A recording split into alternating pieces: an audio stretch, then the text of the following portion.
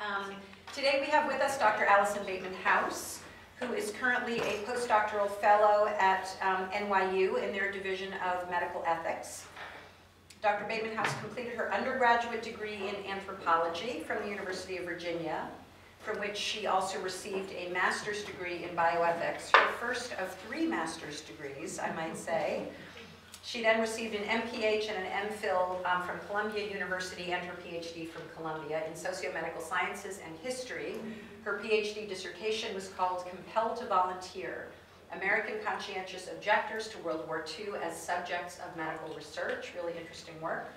Um, and at Columbia, she worked on many, many different um, uh, research projects with various faculty there in ethics and history at the Columbia Mailman School of Public Health. She has published on conscientious objector, objectors in medical research, on bicycle helmets in public health, on obesity, politics, and ethics, and has been conducting significant work while she's been at NYU on access to investigational drugs, which is what she's going to talk about today. The title of her talk is Individual Pleas, Public Interests, the Dilemma of Compassionate Use. So hmm. welcome, and we're glad you're here.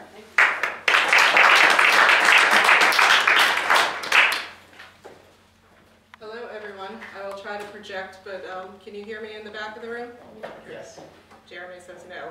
Can you hear me now? You're doing great. Okay, thank you.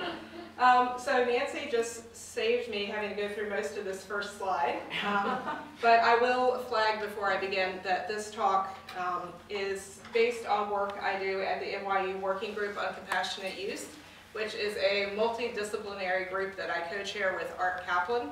Um, and basically, uh, it grew out of a case that I'm going to talk about with y'all today.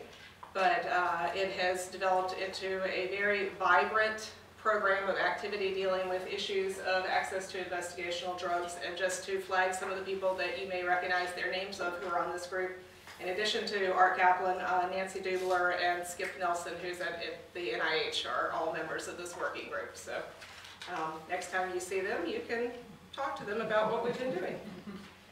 So just to get some preliminaries out of the way, I have a disclosure slide I need to do. I want to define a few terms, and then uh, just to make sure it's crystal clear, I'm going to give you my argument up front, and then I'm going to go into a case in which I want to uh, try to flesh out that argument. So my disclosures are that I'm a consultant to Avalere Health, a healthcare and life sciences consulting company. I am also a consultant through NYU's Compact program to Janssen Pharmaceuticals, which is a part of Johnson & Johnson. But I want to assure you that neither Avalere nor Janssen have seen this, nor have they had any input on what I say. So all thoughts here are my own, except for the fact that I've obviously been influenced by my working group that I just mentioned. So with disclosures out of the way, what is compassionate use? And Nancy was kind enough a minute ago to say access to investigational drugs. So that basically uh, sums that up. But I'll go through my slides anyway because they're here and I think they're useful. Um, so basically to understand what compassionate use is, you have to understand how we get a new medical product. And it can be any kind of product. It could be a drug, it could be a device, it could be a vaccine but uh, each of those has slightly different permutations, and so for the sake of simplicity, I'm only going to talk about drugs today. And so if you want to bring a new drug to market, it goes through this pathway that is undoubtedly familiar to many of you in this room. Uh, can the people in the back see or do? Yeah, okay. Um, so basically you start with your bench research, your laboratory research, you move through pre preclinical testing, which involves animal trials, and then you move into your testing on humans and testing on humans involves three stages. The first stage, known as phase one, is safety testing, uh, typically done on healthy volunteers, except for with some uh, carve-outs like oncology. You wouldn't test a new oncology drug on a healthy volunteer. Phase two is where you start to look for efficacy in your target population to see if the drug is doing what you think it's going to do in the people you want to be uh, impacting. Phase three is where you would probably be doing a comparison of either the new drug versus a placebo or perhaps the new drug versus the standard treatment drug.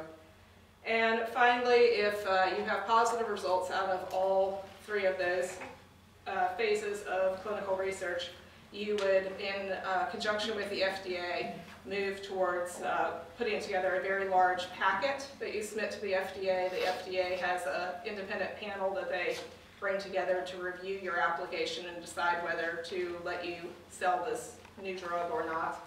Um, Once you get approval, you prepare for launch, during which you're making sure you have enough of the drug, you have doctors trained to know how to use it, uh, you have your marketing campaign lined up, you have insurers willing to pay for the drug, et cetera.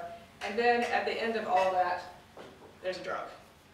And that's when most patients, you and I uh, included, would be able to go to the pharmacy and be able to get access to that drug. So compassionate use is when a patient with no other therapeutic options requests to use a drug that is not yet at that endpoint, a drug that's not yet approved for sale or use. And typically, the drug would be in one of these uh, three, three stages, either the phase two efficacy testing, the phase three uh, comparative testing, or the testing is done and the company is just preparing for the FDA uh, approval or the launch. Now, that doesn't mean that patients only request during these times. We, we have known of patients who request for a phase one drug that has only been safety tested. We've even known patients who have requested drugs that have only been tested on animals. But for the most part, uh, drug companies will not consider granting any compassionate use requests outside of these three starred areas. And the other thing that we should talk about when we're talking about definitions is uh, there is a plethora of terms for activity in this area. Um, in the United States, we use terms like expanded access, which is the FDA terminology. Typically, when the media gets involved, people talk about compassionate use, which is the language I'm using here today, although I would not use that if I was talking to the FDA. Um, and in different countries, they have their own terms for it. So I just flagged some of the more common terms there, especially for any of you who are clinicians. You may have uh, had familiarity with some of these terms before. So that's our uh, staking out of the terms, and now let me just stake out my argument. I say discussions of compassionate use, and this is talking about in, in a media setting or just when we're talking amongst ourselves, are normally focused on the individual who's pleading for access to this drug. And we talk about someone's right to try to preserve his or her life. We talk about someone deserving a chance. And what I want to argue is that we need to start talking not only about the individual, but about um, the public and its rights and its interest with regard to compassionate use. And I'll flesh all that out as I go along, and particularly as I go through the case study I want to talk about. But I'll just say right now, some of you may already agree with this, at which point I'll be preaching to the choir, and I thank you for your patience. Um, but I'll just tell you that you and I are in the minority. Um, I can assure you that uh, with speaking with numerous reporters about this topic, with numerous patient advocacy organizations about this topic, you and I are in the minority. Um, if you disagree with my take, you and I can debate during the question and answer period. But first, uh, let me go through this case study with you. And this is a fairly famous case study, and I just found out from talking with Nancy this morning that y'all actually have um, a relationship with one of the main characters, so I apologize if I'm covering ground that some of you already know very well, but I'll do it anyway. Uh, so this is the case study of Josh Hardy. Can I see a show of hands if anyone is familiar with the Josh Hardy case? So a little bit less than half the room, okay. Josh Hardy is a Virginia boy. At nine months old, he was diagnosed with a very rare, very aggressive kidney cancer. And he underwent radiation, he underwent chemo and some other treatments in order to survive his cancer. He had four cancer-free years, but he uh, was left with kidney and heart complications as a result of his ordeal. And in November of 2013, he was diagnosed with a bone marrow disorder stemming from his earlier treatments. So in January of 2014, he underwent a bone marrow transplant, um, which unfortunately had complications, and he developed uh, an adenovirus infection. He was moved to the ICU with heart and breathing issues. And adenovirus is a fairly common virus that uh, most people with functioning immune systems can overcome without much problem. But for someone who has a compromised immune system, such as this young boy, uh, it can be a life-threatening disorder, life-threatening infection, and he had a very poor prognosis. He was being treated at St. Jude's Medical Center, and the doctors were familiar with a investigational uh, broad-spectrum antiviral drug called brincidofovir. And they, uh, it had been tested at St. Jude's for other, disease, uh, other viruses. And the doctors told Josh's family that Josh's infection would be cured if they could get a hold of this drug. So the, the family asked, can we get the drug? The St. Jude's Medical Center contacted the drug manufacturer and explained the situation and asked if they could get it for Josh, and the company denied the request. Uh, Josh's condition continued to deteriorate. The end was looking very close at hand, and in early March, once Josh developed renal failure, St. Jude again requested the drug, and the company again denied it. So here's some background on the drug. Brincidofovir had been used against adenovirus uh, infections in other compassionate use cases, and they had successful outcomes reported. But you should know the company was not actually testing brincidofovir as adenovirus treatment. It was testing it as a treatment against uh, cytomegalovirus in adult uh, hematopoietic stem cell transplant recipients. That's what it was trying to convince the FDA that the drug was um, effective for, not adenovirus. Even though, again, we had, you know, the sort of case, cases of successful use of adenovirus. And here's some other background. Chimerix, the company that was uh, shepherding this drug along, was a 55-person company, which if you think about like the multinational pharmaceutical companies like Johnson & Johnson is tiny. And brincidofovir was its only drug in the pipeline, so the company was basically going to live or die on the success of brincidofovir. Uh, in 2009, uh, began a compassionate use program and it gave the drug to more than uh, 430 patients. In 2011, Chimerix ended the compassionate use program. And just anecdotally here, I'll tell you, the funding at this point in time for brincidofovir was coming from the Department of Defense, which thought that this sounded like a good drug to have on hand in case we needed to treat smallpox infections. Uh, when the Department of Defense withdrew its funding is when the compassionate use program ended. So by the time the request was made on Josh's behalf, the company had denied over 300 requests for the drug. And by knowing that background, you know more than anyone in the general public uh, at the point in time that Josh's request was being made. And you certainly know more than this man knew. This is Richard Plotkin.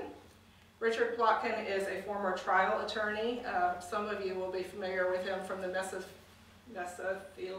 I can never say that word, uh, cases against asbestos, uh, in which he bulldoggedly claimed that his uh, corporate clients were not responsible for people getting this fairly rare cancer and all the ill effects that accompanied it. Uh, after his grandchild contracted a pediatric cancer and was a survivor, he turned himself into a full-time pediatric cancer advocate. And he was contacted on basis of the fact that he was a pediatric cancer advocate and asked if there was anything he could do for Josh Hardy.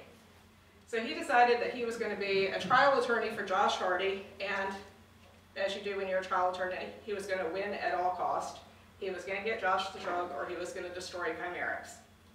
So his strategy involved the parents taking their story public. Amy Hardy, Josh's mother, wrote a post on her Facebook page explaining um, Josh's situation, explaining the request had been denied, and basically asking, is, you know, is there anyone out there who has contacts or has some idea on how we can get Chimerix to change its decision?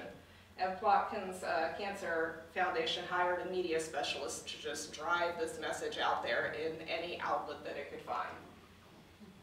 So this is just an excerpt from Amy's um, posting, and I apologize that it's so wordy, so I'll read it to you. Our son, Josh Hardy, who recently had a bone marrow transplant, has developed the adenovirus. This is a deadly virus for people who have weak immune systems. There is a drug called brincidofovir that has been proved to treat the adenovirus effectively. Our doctor at St. Jude told us that they ran the study for the drug company and he knows it will work. However, the drug company has refused to release the drug for compassionate care because they are trying to take it to market. Basically, they are not going to save a child's life for money. So this is the message that was being pumped out there through every avenue that they could find. And within hours, people started calling into Chimerix contacting uh, the boards, uh, the board members of the company, uh, contacting their senators, their you know elected representatives, basically anything people could think of to try to bring power uh, to you know bring pressure against the company. The same day, Josh's uncle uh, launched both a Facebook page and a Twitter site called hashtag Save Josh. And from Save Josh, uh, which went viral and had, you know, pro athletes and, and people from around the world uh, retweeting this message. And, and you can see a picture of Josh and his family here. And you can see that one of his brothers is wearing a Josh's Army shirt. So, I mean, any number of publicity get, gathering things that they could come up with to try to promote their case. Um, someone from my hometown of Mechanicsville, Virginia, thank you, started a change.org petition to try to get, convince the company to give access. And Richard Plotkin, through contacts with uh, Fox News, got it on Fox and Friends. Clinging to life, drug company refuses to help seven-year-old boy. So this is all happening in a space of days, because this is social media and it doesn't take long for things to, to go around the world and come back again. And while the intensity on this, you know, this, this side of the story is ramping up, in contrast, what you're seeing on the media is this. Now, this is Ken Moch. This is the CEO of Chimerix. And for those of you who don't know him, I can assure you that he is a very thoughtful, very nice man. But this is the image that was being run 24-7 on Fox and Friends and, and being tweeted out and what have you. And, you know, he just kind of looks happy with himself and, and self-assured with his lot in life and very much, you know, like a, a successful pharmaceutical CEO. And um, so it's kind of the, the visual battle between the images of this dying boy and his family versus this. So losing the, uh, the battle of sympathetic media, uh, put out a statement trying to explain rationally to the world the stance. Part of it says, Five years ago, early in Brincidofovir's clinical development pathway, Chimerix began receiving requests from physicians for the emergency use of brincidofovir, and we were able to supply brincidofovir from relatively small numbers of these requests. As our small company progressed to larger and more complex efficacy and safety trials designed to gain FDA approval of brincidofovir, we made the difficult decision two years ago to cease our compassionate use program and focus on earning FDA approval. This is the only path to making brincidofovir widely available to those who need it in the fastest manner allowed. So, again, you have a battle of the competing narratives. Hardy's mother is saying the drug company has refused to release the drug because they're trying to take it to market. Basically, they're not going to save a child's life for money. Moch, on the other hand, is arguing that Chimerix couldn't offer compassionate use because it was a small company and due to the limitations of personnel and the expertise required to um, monitor adverse reactions and stuff like this, he could not have his company simultaneously do a compassionate use program for, remember, in excess of 300 some people, because that's how many people had requested in addition to, to um, Josh, while at the same time bringing this drug to market. And in uh, this quote right here, he, he's making the case that he's prioritizing a larger group of patients. He just makes a straight utility argument. He's a, you know, the, this is the only path to making brincidofovir widely available to those who need it in the fastest manner allowed. So he's saying we have a small group of people who want it on compassionate use grounds. We have a larger group of people who need it through the regular process. So we're going to serve that larger group of people by plowing full steam ahead towards that. And he also made another point, just saying that it's unfair to give it to Josh. 300 some people have requested it, and we've said no to all of them. And then along comes this one boy, and yes, he's cute, but what makes him so special that we should uh, give him something that nobody else has gotten? So you can probably guess which one of these competing narratives um, resonated more with the American viewing public but I'll show a few slides to make it clear. I know the people that can't see this. So I'll, this is just a, a tweet from Chimerix, just announcing that you know Ken Moch's going to be presenting at a conference today, and these are three. And I did not cherry pick these. These are this is just a straight screenshot. Uh, Mike says, Chimerix, please help Josh and God bless you. Save Josh. Nat says, people have offered to pay for the treatment. Make this a requirement for compassionate use cases all caps, we are watching you, save Josh. Rick says, Chimerix, are you actually humans? Do you have a heart? I am shocked at how horrific your CEO is. Is he for real? JF says Chimerix, so the set price of one child's life is 50,000 US dollars. Is this what we are all reduced to now? This is why I didn't get an MBA. So basically, you know, Ken Moch tried to make this appeal to rationality and, and show that, you know, it's unfortunate that we can't take care of everyone at once, but we have to prioritize, and this is the response he's getting.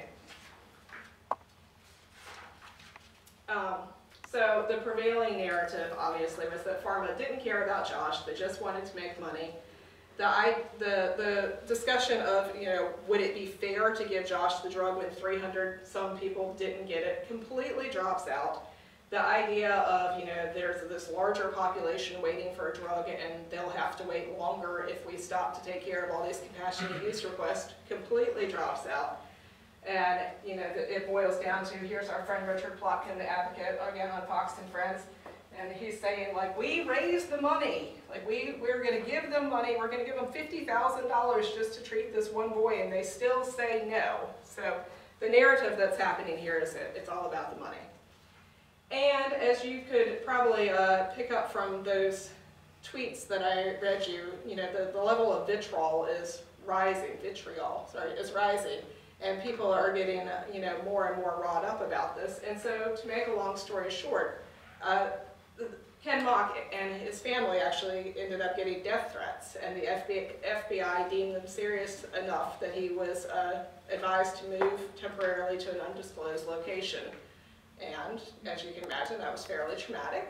Uh, made a big impression on him, which is why he's now very actively involved in compassionate use. And for interest of full disclosure, he is a member of our working group, which is why I have this, uh, you know, micro level of detail because uh, he thinks about this almost daily.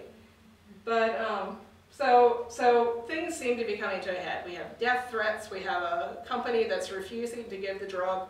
You know, it kind of seems like there's nowhere left to go. And then voila, seemingly out of the blue, there's a resolution. Chimerix puts out this uh, press release. Chimerix to provide brincidofovir to Josh Hardy as first patient in new open label study in patients with adenovirus infections.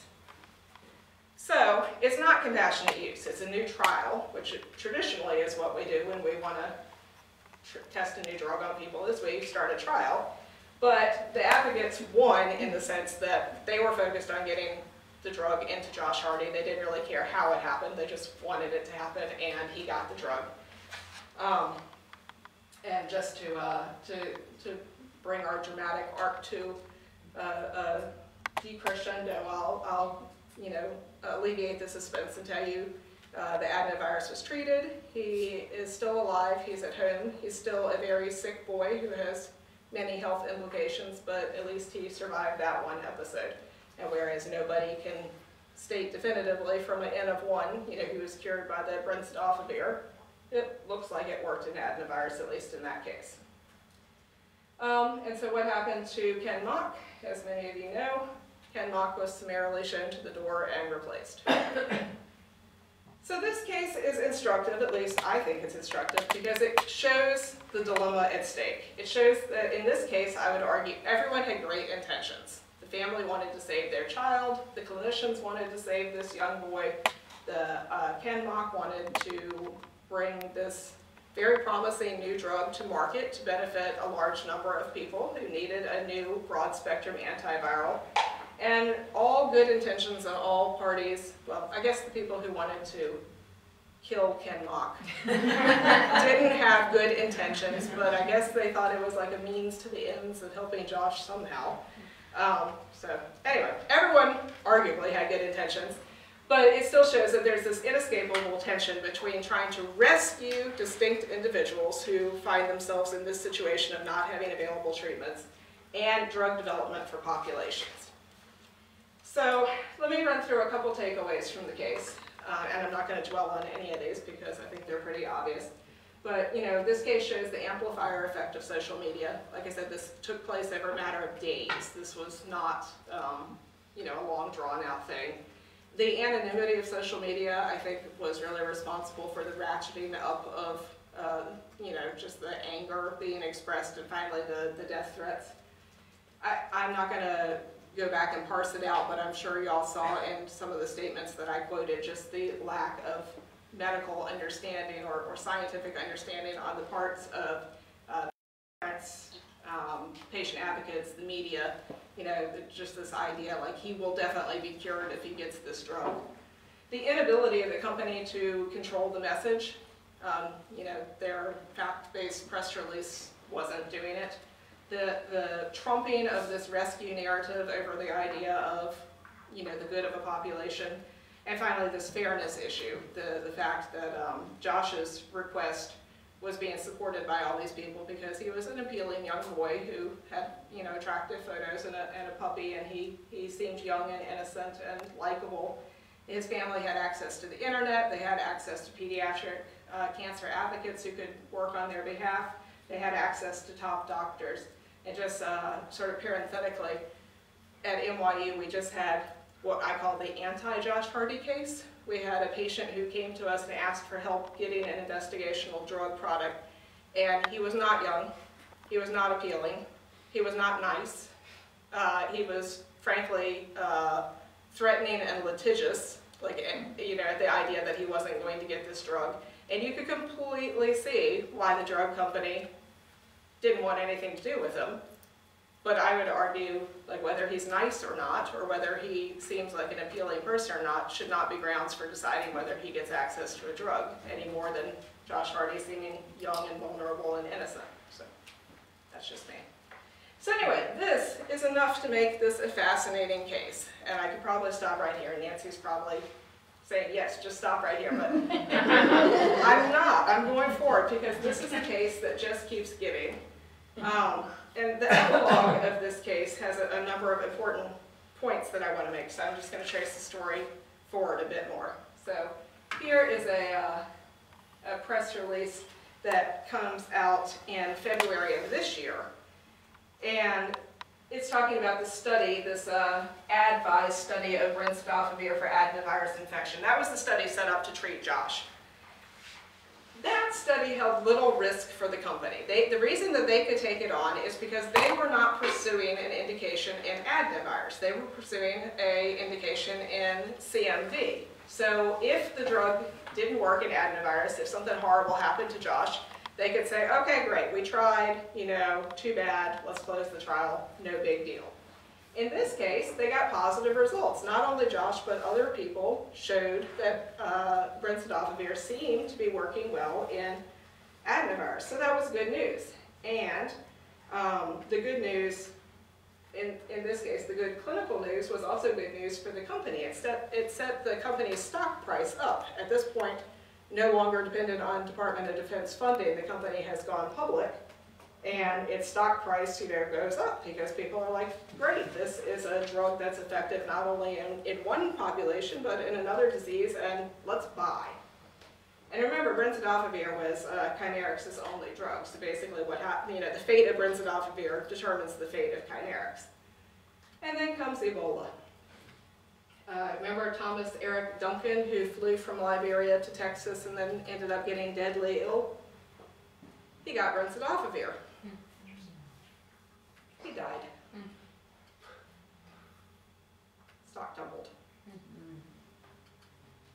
Now, if the stock losses were severe enough, given that this was the company's only drug, it could have seriously damaged or even bankrupted the company. Now, in this case, brincidofovir was almost over the finish line with regard to its first study, the one in CMV. It's in phase three, it's concluding, it has enough data to go before the FDA, so it was relatively insulated.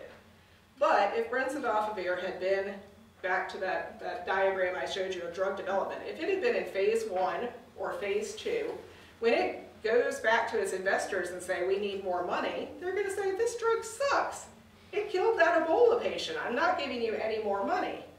Um, so, it, I mean, it really, honestly, could have killed the company if, if the circumstances had been slightly different. Um, and even if it didn't kill the company, it could have led to a temporary cash flow or you know problem or something like that, which would have resulted in slowing the trial, slowing you know all the steps that it has to go through to end up having a new effective drug on the market.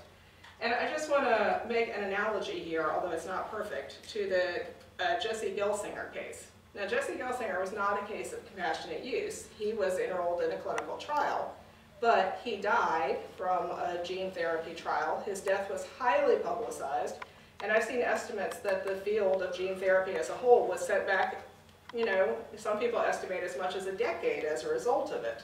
So just thinking about that one case, and then thinking about these sort of, uh, you know, uh, market forces and their impact on drug development. I mean, these aren't things that we think about day in, day out, but you can see how uh, the, the bad outcome of this particular compassionate use case on Thomas Eric Duncan really could have had real life ramifications for bringing a drug to market and thus to all the patients who downstream would be using that drug. And just to give another example um, about how a bad outcome can hurt a company and by extension patients, this is, this is a very recent one. This is uh, November 2014. Uh, this is a com uh, oncology company that was uh, testing some a chemical for brain cancer, and one of their compassionate use patients died, at which point the FDA stepped in and put a, clinic, a clinical hold on their studies. And the clinical hold did not seem to last very long, and I don't have any evidence that it hurt uh, accrual to the trial or anything like that. So I'm not saying, you know, patients died because of this, but it's just more evidence that bad outcomes in compassionate use can slow down or even kill um, a trial or, you know, the other steps necessary to bring a drug to market. So, ramifications. One noteworthy ramification that I think people are always surprised in a good way to hear about is that uh, Richard Plotkin, the patient advocate for Josh Hardy, who decided that he was going to get Josh the drug or else destroy Chimerix in the process, had a crisis of conscience after he started learning more about compassionate use. He would be the first one to tell you that he had never even heard the term compassionate use before this came up, and to him it was just like, there's a dying child, can you do something to help? Sure, I'll, you know, throw the kitchen sink at it and see what I could do. But he was like a bull in a china shop. He really had no idea what he was doing.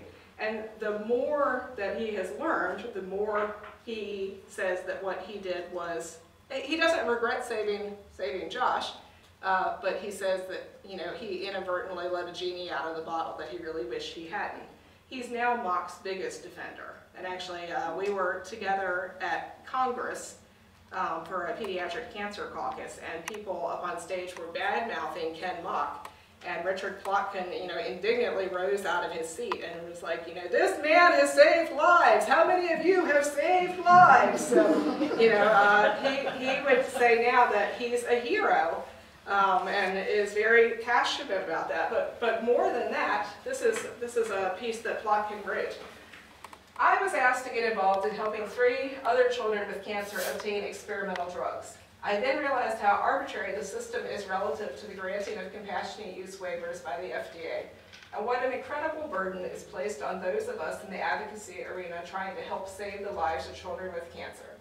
Given what our group was able to, given what our group was able to assist in accomplishing for the Hardys, I realized we had within our power the ability and burden to help decide which children would be given a chance to live and which would continue on the path to premature death. Of the three children, I elected not to get involved for two. In my limited world, I was making a decision as to who should live and who should die, a very uncomfortable position to be in. So basically he's saying, now I'm the Ken Moch you know, there's more demand than I can possibly fulfill, and I have to decide who I'm going to use my resources to help. So he says, I realize that something must be done to establish a better system to determine who shall live and who shall die relative to the issuance of compassionate use waivers. So at the time that he wrote this, um, uh, Richard Plotkin, the, the cancer advocate, has become acutely aware of the fact that, you know, Ken Moch wasn't just being a hard-hearted ass. There's like a real issue here. And he's also talking about, you know, the, the justice and the equity issues of how do you possibly decide, if you can't help everyone, you know, on what grounds do you make this decision? But at this time, he's still thinking access to an investigational product equals cure. He, he's very deluded by his one case in which it happened to be true that access to investigational products saved a person, you know, this idea of therapeutic misconception, you know, so he is still pushing full speed ahead towards people need access to drugs. It's just he's like, well, I can't help everyone, and this is an untenable situation. Now, because this is a rapidly evolving story, he now has, has come to understand that he was misguided by this therapeutic misconception and that in some cases access to an investigational drug isn't going to do anything. In some cases it could even hurt.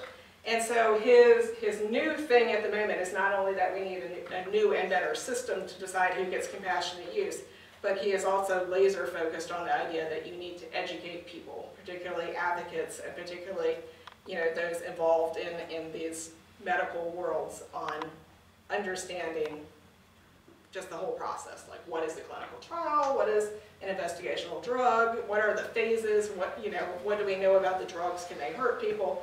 So that's his uh, current quest, and uh, just given his persona that we've described here, and given the fact that he has the nickname of Barracuda, um, I'm not personally betting against him, and I think there's going to be a lot of education happening in the pediatric cancer community. But aside from that story, there's some other ramifications. And again, I'm not going to go into detail on this, but as you can probably imagine, companies are scared of compassionate use in social media campaigns. Uh, since being fired from Chimerix, Ken Moch's full-time job is to speak to companies and conventions full of business people who, you know, are, are desperate to hear his story and to learn the lessons from it so they don't become the next Ken Moch.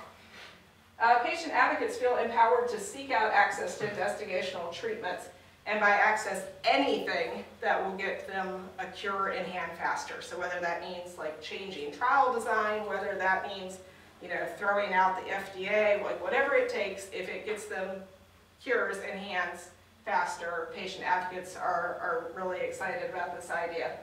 And going along with that, there is now this raft of state and national legislative efforts to uh, expedite patients' access to investigational treatments. More ramifications, because remember, we had Ebola. And the question is, if you can test, uh, sorry, if unapproved treatments that haven't even been tested for safety on people can be used ethically with the blessing of the WHO and you know other bodies on people who are dying of Ebola, why in this country can't you use these same, you know, likely, if at all, tested products on people dying of other things? If a death is a death, why do we have one set of rules for people dying of everything except for Ebola?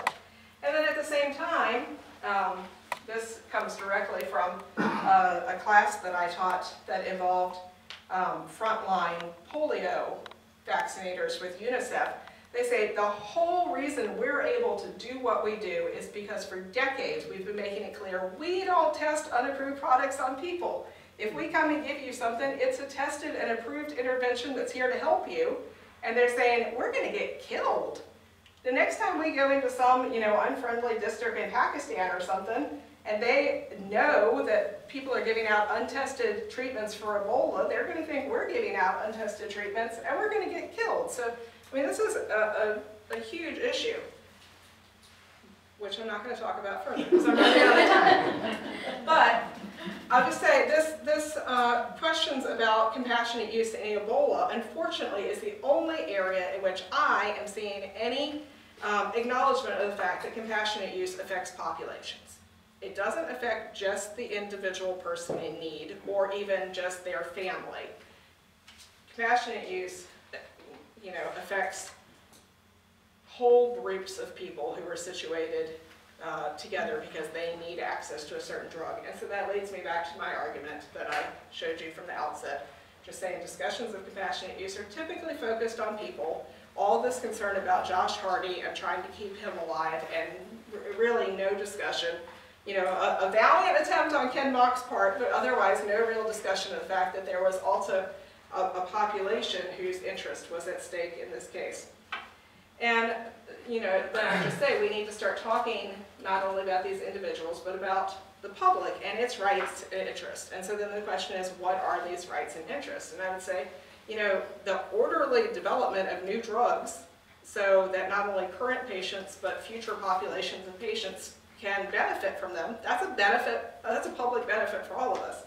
And also having an effective, um, you know, functional FDA, I would argue is a public benefit for all of us. And we can talk about this during the Q and A if you're interested, but I really see in some of the state and legislative efforts that have grown out of this case and other recent compassionate use cases, a real uh, sort of libertarian movement to push the FDA out of uh, at least compassionate use and possibly out of other areas of medical decision making.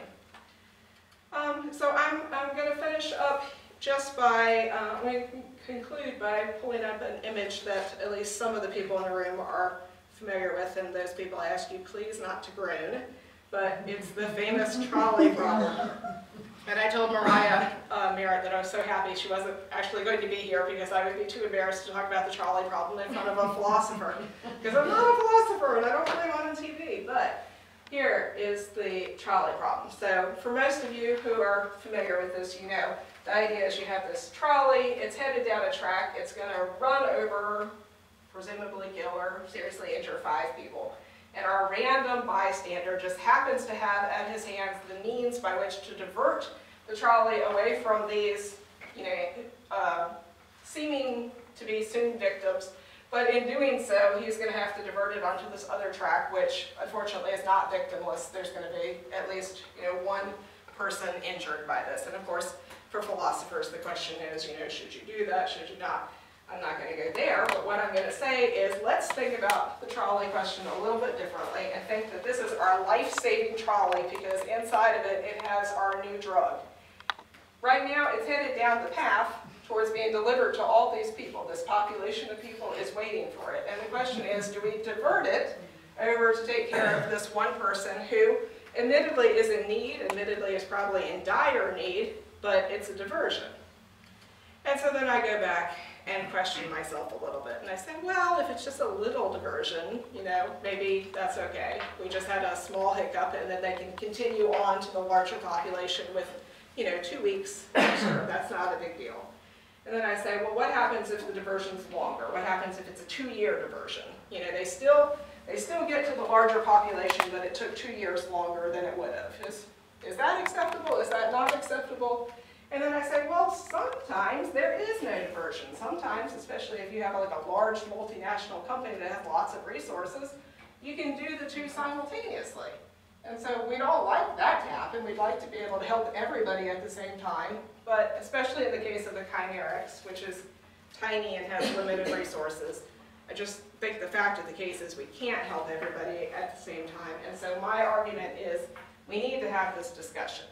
And if at the end of our discussion we say, rescue is so important to us that no matter you know, what the diversion entails, we need to divert, that's fine, I'm okay with that, I'm not opposed to that. All I'm saying is we need to have the discussion. And my concern is right now, I don't see any signs of that discussion as arising spontaneously. So that's my talk. And if you want more, those are two recent blog pieces I wrote on this while I was thinking through it. And that's my Twitter hashtag where I spend, I spend a lot of time talking about compassionate use, particularly with regard to people who are in favor of right to try laws, which I do not favor. And I'd be happy to talk about that during question and answer. So questions, are you fine fielding your own questions? I am fine fielding my own And- questions and- as long as people let me grab some water real quick. Yeah, and, and again, if people could um, introduce themselves as they ask their question, that might be helpful for our guest. Thank you for being an attentive audience. I didn't see a single person fall asleep, which I appreciate. Hi, so my name is Amanda Jamal, I'm a PhD student here and also a genetic counselor by training. Okay. Um, and so my question is, you mentioned that one of the considerations Chimerix took into account was that um, they couldn't administer a compassionate use program at the same time as they could bring a drug to market, right? And so my question is whether you think it's morally problematic in any way that the that decision sort of rests on whether there's a market demand for the drug and whether the FDA approval process has been working and the evidence thresholds have been met, you know, to bring it to that point. Um, Is, is that somehow at the level of the population a worry? Not sure I'm following, because if it doesn't look like So the if they drug is couldn't- being if- effective If they felt enough. like there was no point in doing a trial, you know, without it changed things, if, if there was no incentive to do a trial, if there was, there wasn't the wherewithal somehow, like, I'm thinking of rare disease drugs, which maybe are less profitable and lucrative to bring to market, and that's also kind of, I think, a large population that tends to want to rely on compassionate use.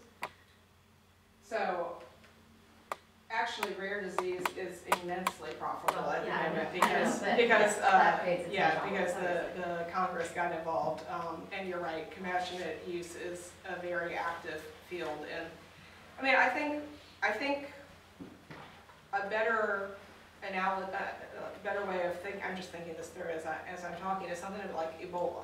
You know, there was not a disease, there was not a demand for an Ebola drug. Um, and so it didn't happen. And if there had been an outbreak in West Africa and they started demanding, you know, compassionate use access to a drug, there just wouldn't have been anything there to give them. I mean, there just would have been like the earliest of early phase treatments because that's all that was on the table. So it's hard for me to understand exactly. Yeah, I guess, I guess the point I'm making is just that public demand for a drug, I guess, determines whether uh, the value and maybe the viability of a clinical trial or the, the sort of the number of, of people and resources that are gonna get put into the development of a drug for the public.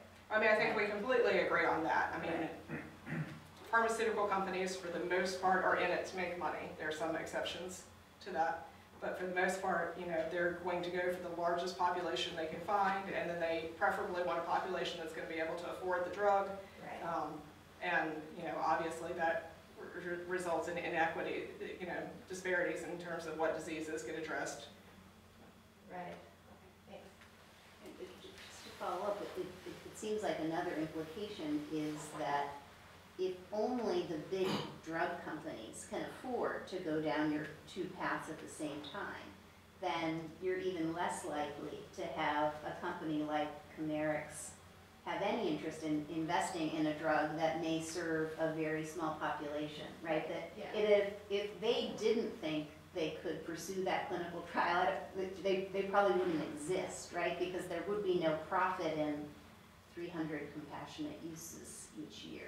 So I really think it's also the, the context within which these things happen and those market forces that are working at those different levels. I mean, one of the things that has been so fascinating for me learning about this topic is to find out the sort of stresses that are placed on patient advocates.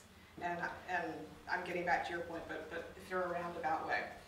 When there's a compassionate use case, particularly when it's in a, in a defined community, um, there's suddenly all this attention on this one family and its need, either for a drug or, you know, possibly for a new device or even for money, you know, like, you know, we need the money to fly so-and-so to this location. The, the patient advocacy group that is attached to that particular person is really torn because they say, you know, is it our role to support this person who's part of our community?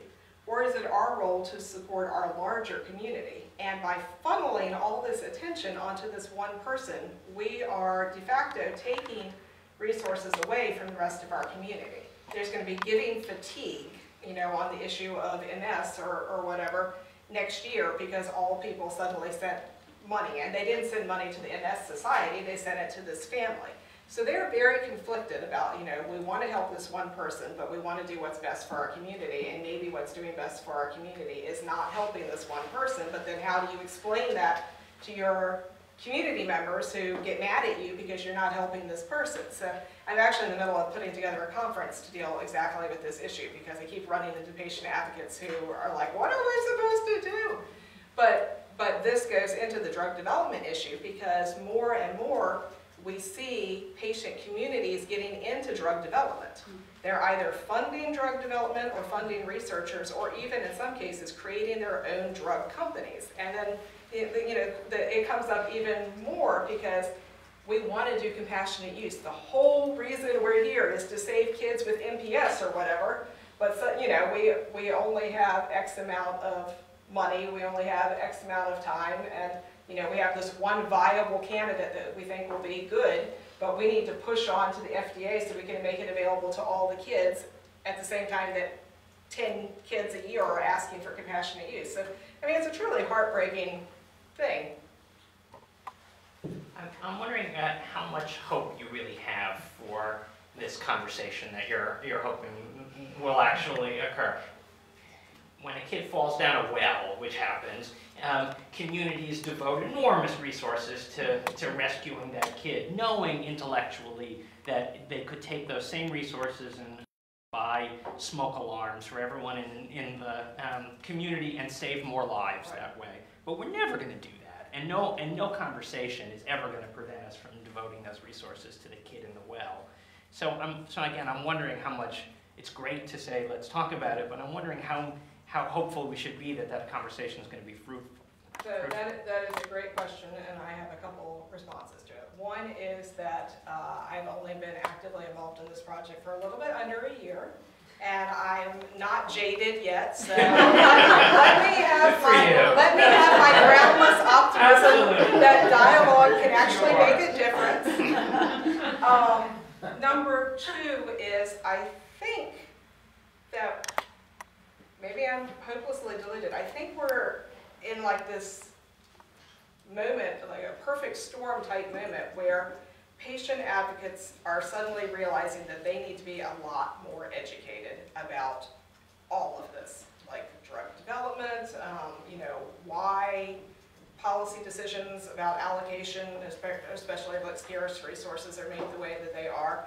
And to the extent that there's an interest and enthusiasm right now, I just want to go with that. And that's why I'm working as much as I am with patient advocates and saying, you know, yes, like let's educate people. And, and maybe, you know, if we have the discussion and you want to do something that is very laudable but not rational, then that's fine, that's fine. But let's like at least have an educated discussion first. So, so that's my comments about that. My, my real comment, they're never gonna stop doing rescue. So I would like to say, fine, we've had a discussion, you still wanna do rescue, so let's do it right. Let's not do a system where it's whoever's cute or whoever has access to social media or whoever, you know, can afford to hire a publicist gets access.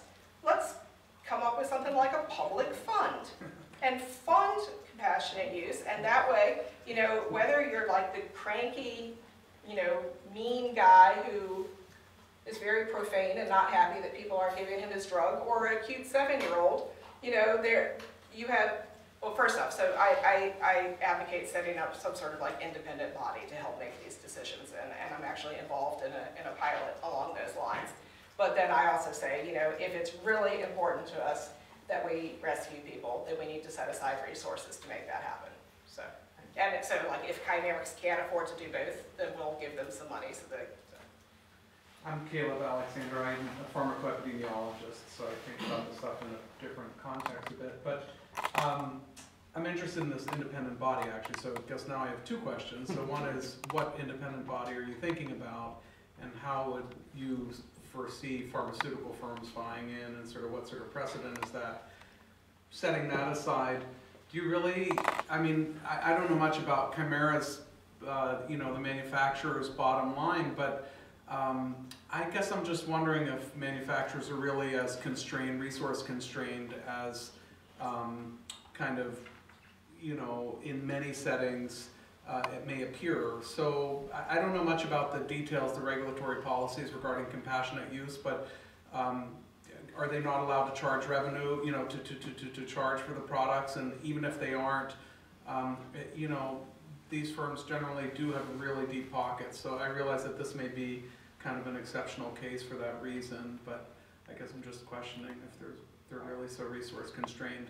So, unfortunately, I can't tell you much about this new uh, independent arbitrating body because uh, I'm under confidentiality restrictions at this point, but I would say watch the news because there'll be a press release coming out very soon. Um, I'll leave it at that. Uh, With regard to your other question, the large pharmaceutical companies are grossly deep-pocketed. And that's why I say if anybody can afford to do the two tracks at once, it's them. And for them to say that they can't, I think we would have to have like a real dollars and cents discussion of, you know, well, what exactly is the disease? You know, how common is it? You know, if it's a rare disease, then I think that you couldn't argue on grounds of, like, we just don't have the money to do this. If it was a very common disease, then, you know, perhaps even the most deep-pocketed company in the world couldn't afford to run a compassionate use program. So, so I think there, there are, you know, nuances there that would depend on the particular disease, particular drug, et cetera. The small companies, they're on a shoestring. I mean, I can't tell you how many companies I've consulted with at this point where it's, you know, anywhere from 10 to 100 people um, living from venture capitalist to venture capitalist, um, routinely outsourcing anything they can to contract research organizations just because it's cheaper to do that than to do things in-house. So And- can they charge for products that are administered Yes. compassionate use? The So problem, what if this the is just the cost of doing business, the cost of drug development? I mean, it includes a billion dollars to bring a drug to market. What if we make it one point two billion and uh, include the cost of compassionate use? So the problem with that, I would argue, is um, no insurance company will pay for an experimental drug. Basically, insurance companies in the United States follow what uh, Medicaid and Medicare do, and I've talked to Medicaid and Medicare, and they assure me under fleetingly small circumstances would they consider paying for an experimental drug. So then you're introducing inequity into the situation because only people who could afford to pay for the drug would have access. And then the question is, how much do you charge for a drug when you have desperate people trying to get it? And you can imagine a company that would have both an incentive and give in to the incentive to really drastically mark up the price of that compassionate use drug because they have a desperate population who can go onto crowdsourcing websites or whatnot and try to raise the money to get it. So I think because of situations like that, people have decided, most companies, when they give compassionate use, they do it for free or they do it for just like, you know, the actual cost of, of getting the drug to you, you know, by courier or something like that. So there are certainly people who think that market forces can, can remedy this, and I'm happy to talk with you at length longer about that, but I see other hands, so if you don't mind, I will field them for a second. So I just want, I'm, I'm feeling awkward because I see that it's five, but I can't restrain myself from making one more comment. It's obviously such an interesting conversation. It seems that we have with your, I, I love using the trolley analogy in this way. We've been talking so far about diverting only in the sense of resources. Only in the sense of are they sufficiently staffed, are they sufficiently financed to be able to simultaneously run a trial and give drug to people. But it seems to also me. been talking about time. And, and time, fine, but it seems to me that um, an extraordinary diversionary threat is that once compassionate use becomes available, people don't join the trial.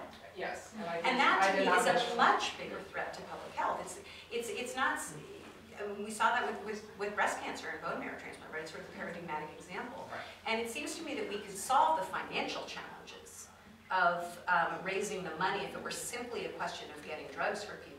It seems to me that this much more, this, this tension, this, this rip out your insides threat challenge to me is if the only way we're gonna find out whether it works is to say no to some people. That's, I mean, that's more the Ebola context where it seems so challenging. Um, so, yes, I completely agree, and I didn't talk about that at all simply because there were so many things I had to Yeah, no, no, no, no, I'm, I'm. I'm, my, my But- point's not to criticize. But, um, typically what drug companies do around this area while the, um, the, the, the application's in process, they have a pretty good idea that it's gonna go through and they're starting to prepare for their launch. Companies frequently open something called, uh, expand, um, early access program, EAP. Um, and anyone who is, you know, like you have cystic fibrosis, it looks like the drug's gonna be available, and so the company goes ahead and opens up this EAP. Your doctor applies and says, you know, I have a cystic fibrosis patient, they would really benefit from getting the drug now as opposed to like eight months later, can we do it? And the company more or less says, yes, it's all free, um, because, again, there are a number of issues with charging for a, for an unapproved drug. And there are a number of people right now who are advocating, they're saying, forget compassionate use, just open up the EAPs earlier Yep. and earlier and earlier. And that gets exactly into what you're talking about, about siphoning demand away from um, the trials. And in fact, in one case, uh, multiple dystrophy, they did do that. They opened the EAP for this particular drug very early, and then they couldn't get people to enroll in the phase three trial because the phase three trial was against the placebo. And people were like, hmm, enroll in a placebo-controlled trial or go into an EAP where I get free drug? But I mean, the, the trade-off of that is they were getting free drug that we hadn't tested in the phase three to know for sure that it was All right, thank you, we probably do have to stop.